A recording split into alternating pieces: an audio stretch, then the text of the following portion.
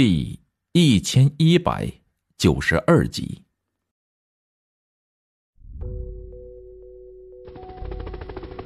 一架军机再次呼啸而来，放下了绳索，几名士兵麻利的把绑得结结实实的伊迪送了上去，而他们对夏伊客气的一伸手道：“来自遥远的夏伊王子，现在请到华夏一行。”士兵们用的是一个语言的转换器，这个语言转换器让他们发出来的声音转换为夏伊他们的种族语言。请问，我现在要去哪里？夏伊有些疑惑地说：“华夏，邵氏科技总部，怎么办？这些东西启动了，如果真的让它完成启动，它在瞬间爆发出来的能量，足能让我们的地球震成两半的。海底里面，叶浩轩看着螺旋状的光束，他有些头大的说：“那名兽首战士并没有随着伊迪离开。”他在那里虎视眈眈的盯着叶浩轩，一点也不放松。叶浩轩向前一步，他的精神就有些紧张。首先，你得把这家伙解决了再说。李延新倒是无所谓，他悠悠的说：“小意思。”叶浩轩大步踏前，他右手中太长向前一送，一声轻喝，横斩而去。兽首战士的反应也不慢，哎，就在叶浩轩抱起来的时候，他也动了。他手中的长枪，与其他低阶兽首战士中的手中所持的不一样。这家伙手中的长矛并不是高科技的武器，而是肉搏用的。他提着手中的武器，迎着叶浩轩手中的太长而去，叮，一串火花迸发出来。叶浩轩手中的太长一震，他感觉到对方强大的力量从太长上反噬了回来。他这一剑竟然没有把对方的长矛斩断。咦，好坚硬的材质啊！看来你跟其他的战士不一样啊。叶浩轩开始对这个家伙另眼相看了起来。其他的兽首战士都只是傀儡，但是这家伙似乎是战斗类型的。我与他们的确不一样，因为我是战士。兽首战士竟然开口说话了。哎，你是我第一次见到会说话的制造品。叶浩轩愣了愣，别拿我和那些垃圾比。兽首战士似乎对“制造品”这几个字十分的敏感。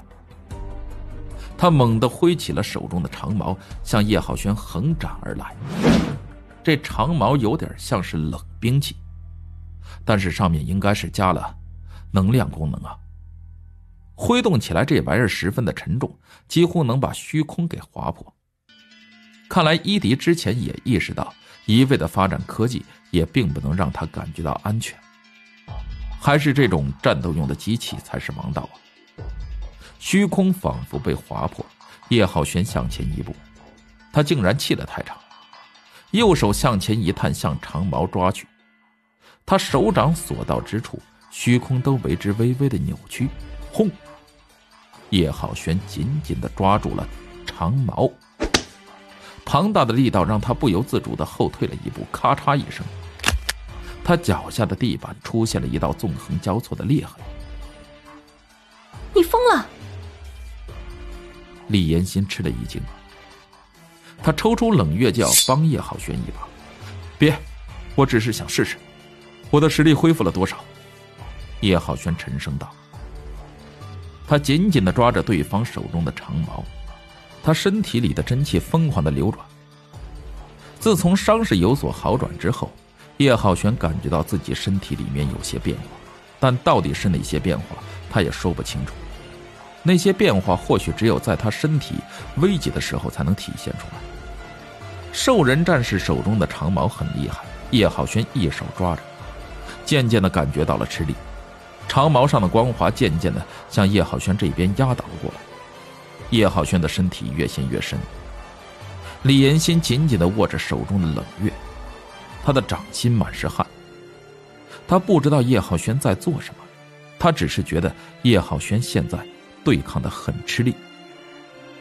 李延新的精神紧绷着。如果叶浩轩现在出一点意外，他就会毫不犹豫地扑上去。不到一分钟，叶浩轩的身体已经下陷到膝盖了，他脑门上的汗如同水蒸气一般，他身体里面的浩然真气现在已经有些支撑不住了。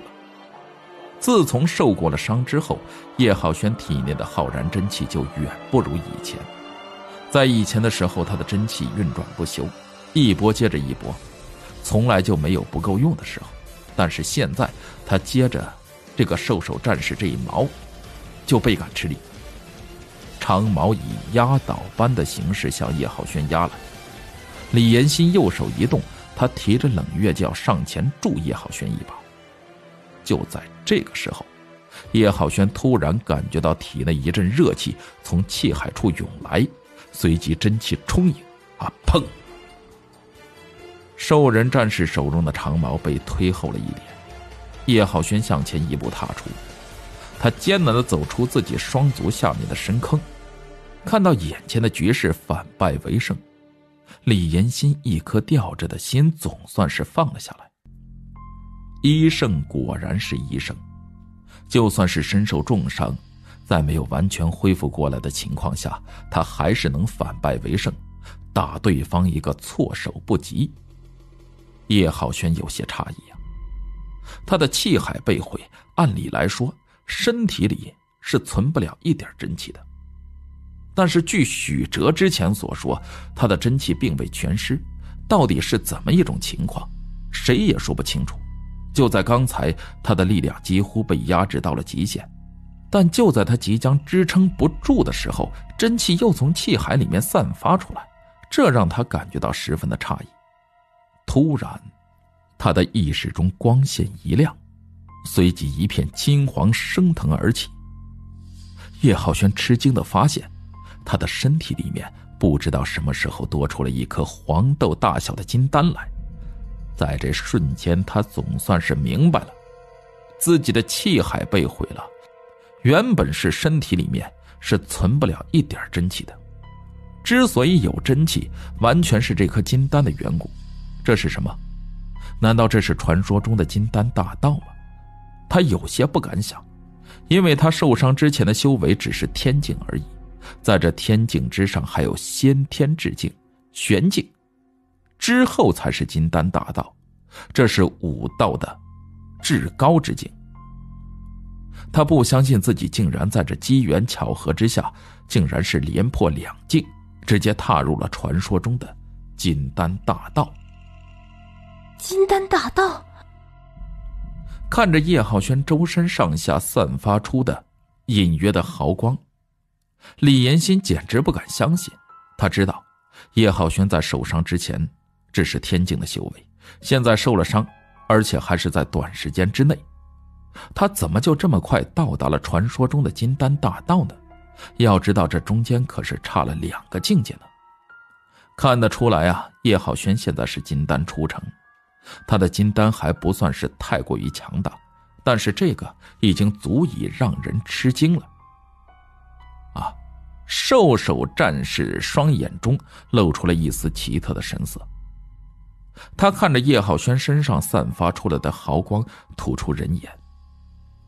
你的气息让我感觉到很熟悉，是吗？你之前见到过和我一样的人？叶浩轩笑了笑。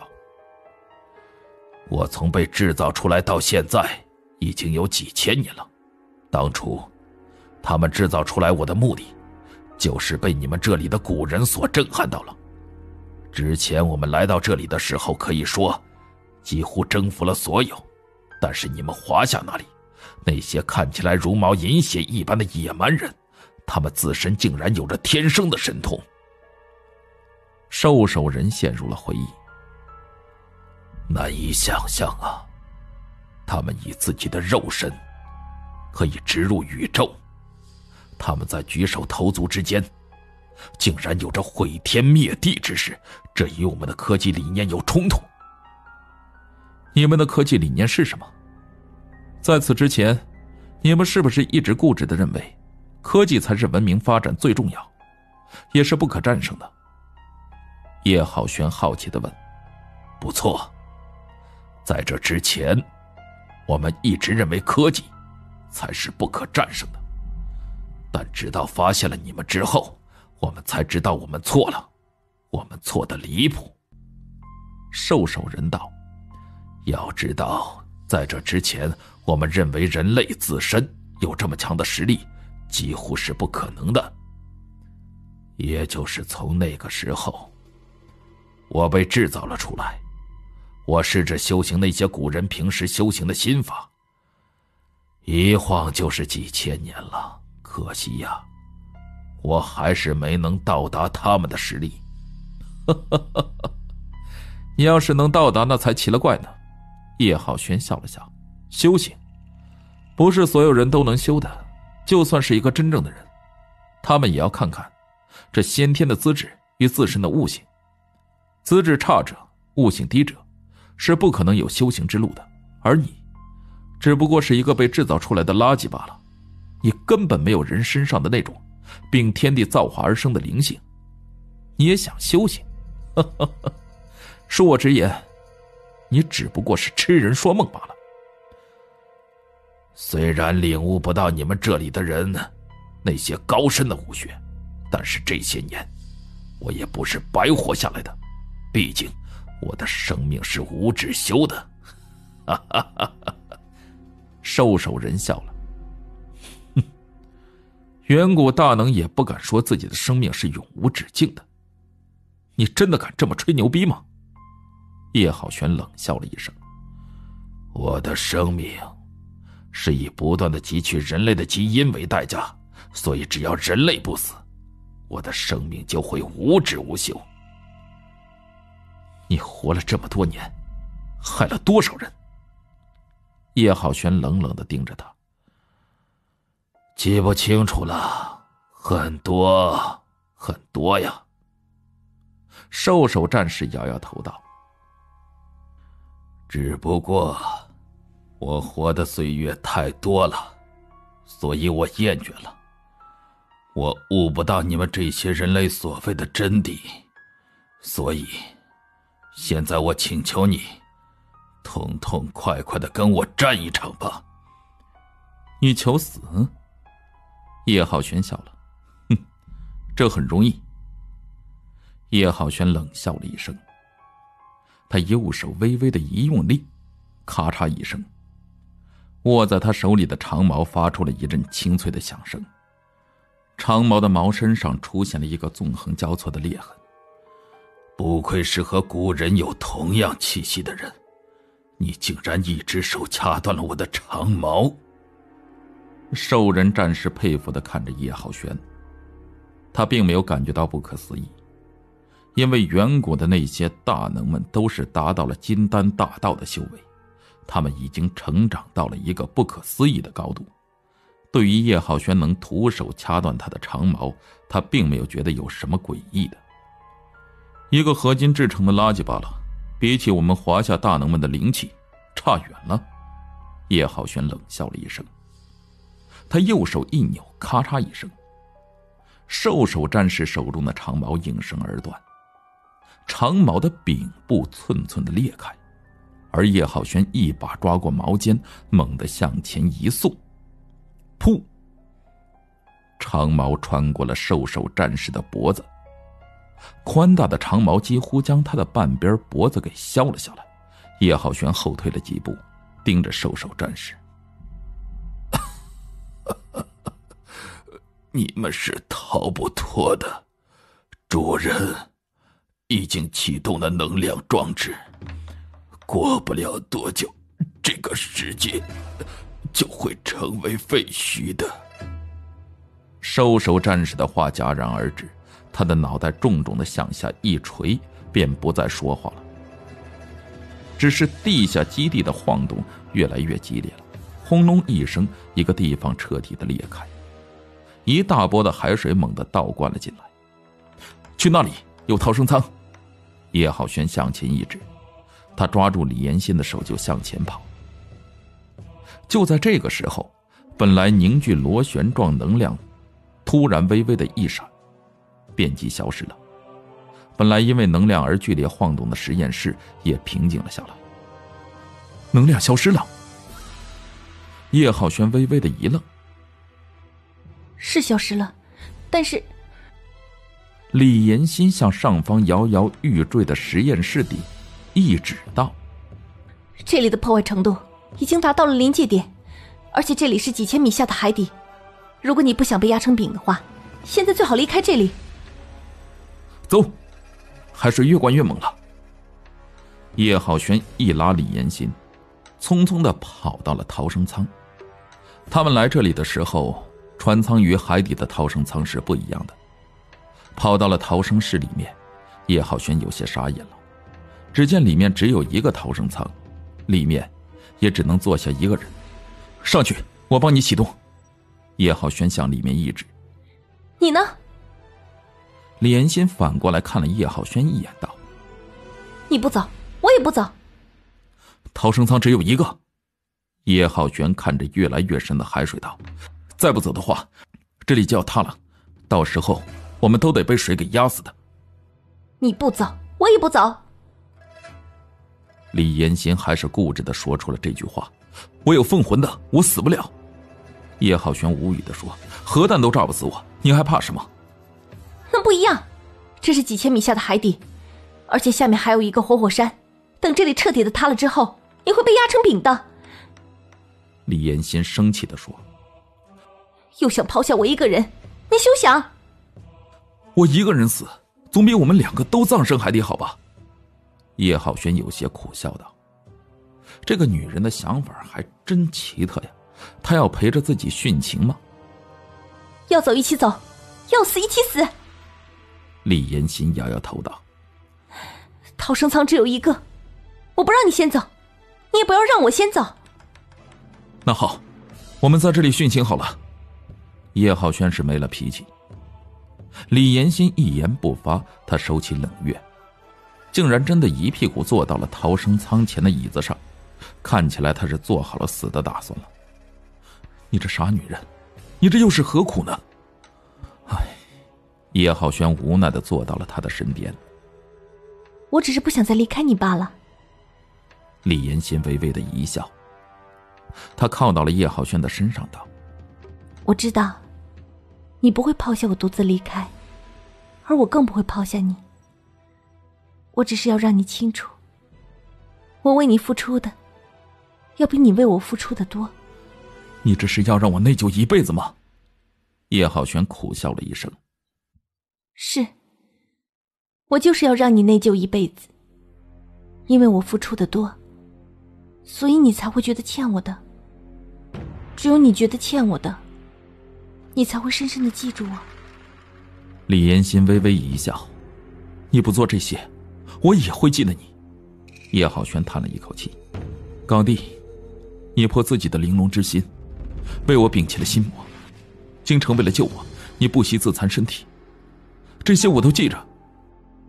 记着就好，这说明你还算是有点良心。”李岩心笑了。